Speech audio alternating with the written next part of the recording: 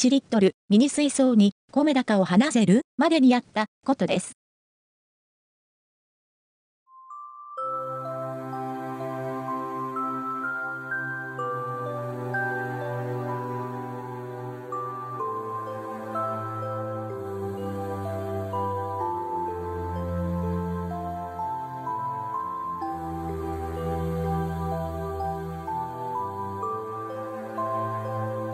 赤玉土に湧いた微生物。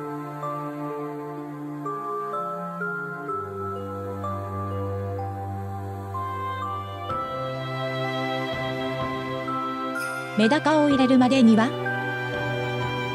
ミニ水槽には微生物が住み着いた赤玉土を入れ約一月になりましたヒーターはありませんが水温は14度から19度あります。ポンプと照明からの熱と蓋があるから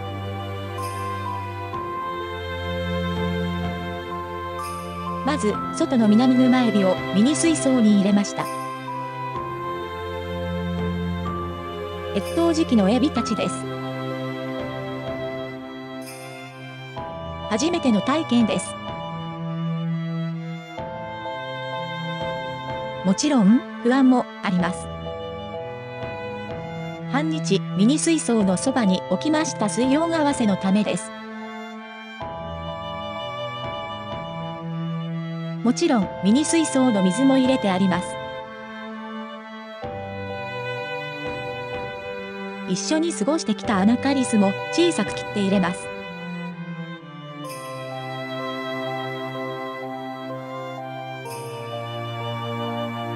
水温は同じになりました。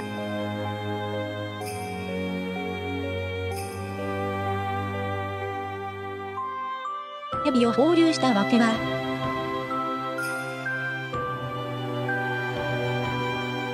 映像が鮮明でなくすみません。水槽壁面の汚れは微生物がいますから、ご理解のほどよろしく。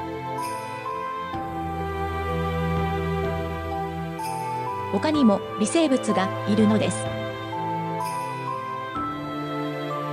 水面には小さな浮遊物が増えていたのです。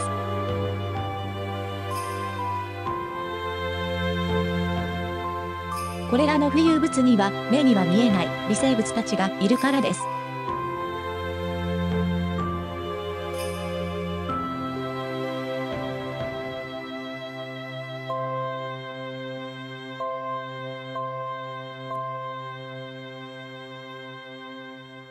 これらの微生物たちは赤玉土に住み着いていた微生物たちですが、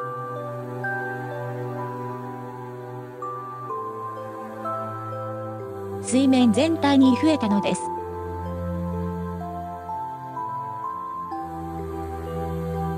水面にいた微生物たちを南沼エビは食べるようなのです。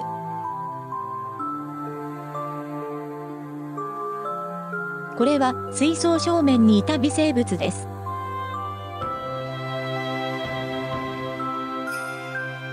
この微生物はワムシの仲間です。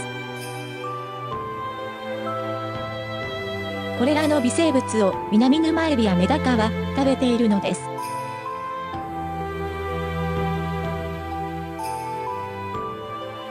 この水槽にエビを入れて2日後です。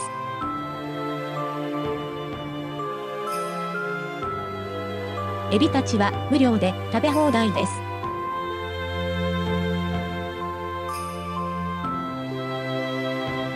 買った餌は与えていません。自然発生です。スポンジの上の汚れはエビたちの糞です。私の体験では、これらの人工の水草などの表面にも、もう微生物たちはたくさんいるのです。エビたちはこのように動き回り、つまつま餌取りをしているのです。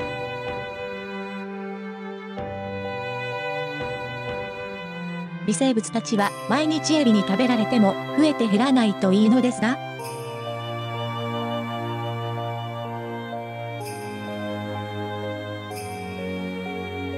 エビたちの糞がある限り、新鮮な餌はあるのです。安心エビが脱皮していたのです。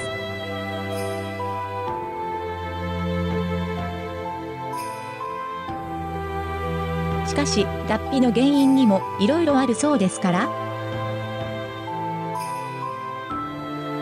今はエビたちを見守るしかありません。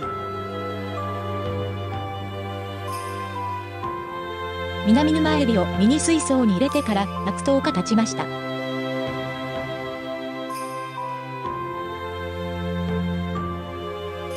それから5日後です。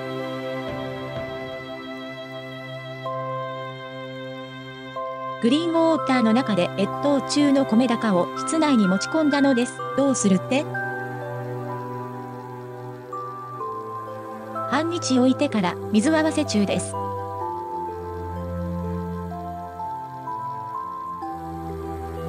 この米高をミニ水槽に入れたのです。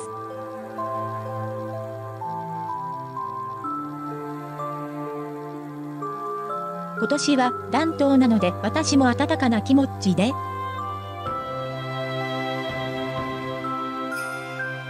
気が緩んだのです。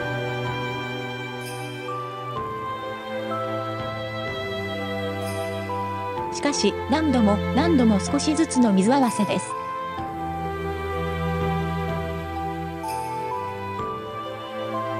慎重に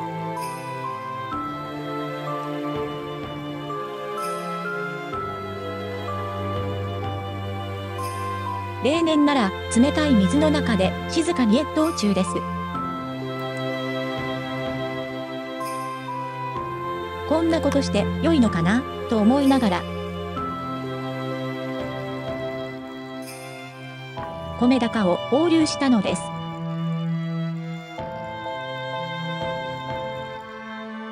翌日2匹の米高にうんちが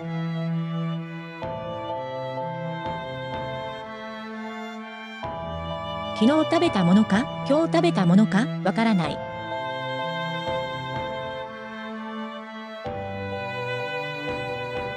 玄関機のメダカたちのうんちって本当はしないのでしょうか？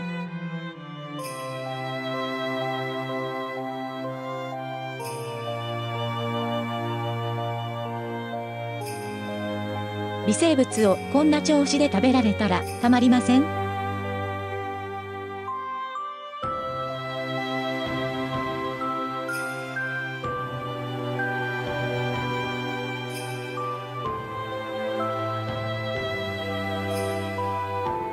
ああ、まただ、この先どうなるの？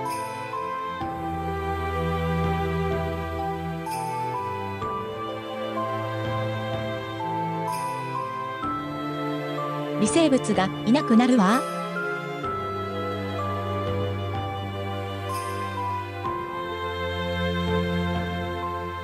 そんなこともあろうかと考えたのがメダカの餌茶碗です。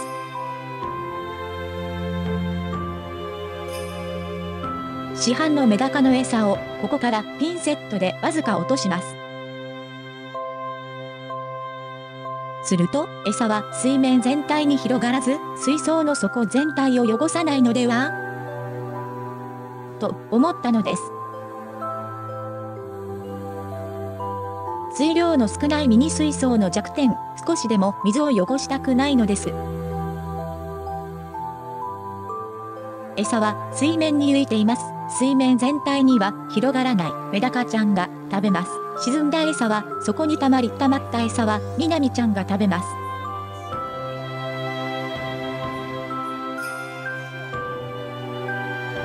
食べ残しの餌は、適当に私がスポイトで吸い上げます。残飯整理完了です。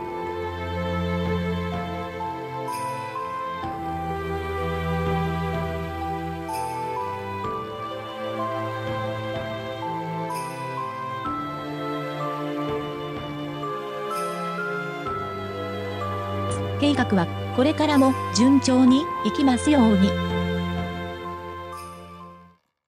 メダカチャンネルファンの皆さん、最後までご視聴ありがとうございました。少しでも良かったと思っていただけたら、グッド評価、コメント、チャンネル登録をしていただければ嬉しいです。